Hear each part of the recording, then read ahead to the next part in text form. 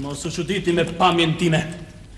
Vij nga përleshjet. Don Kishoti u ngjit në një skenë teatrale në vitin 1981, atëherë me aktorët më të mirë të teatrit të estradës. Të lumtë, Hamzi, po më pëlqeni, urdhëroni! Don Kishoti rikthehet ndryshe pas 35 vitesh, Kjo vepër klasike nën regjinë e Klajdi Ymerit ishte paralajmëruar edhe më herët nga aktorët, që ftuan publikun në Teatrin Kombëtar me një interpretim të tyre në rrugët e kryeqytetit.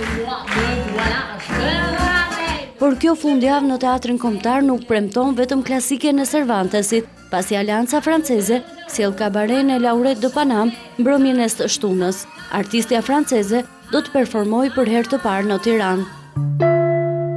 Në skenën eksperimentale vijojnë edhe këtë fundjavë katër shfaqje për të rritur dhe fëmijë, ashtu sikurse edhe në traditën e teatrit të kukullave që pret të vegjlit me dy shfaqje të ndryshme.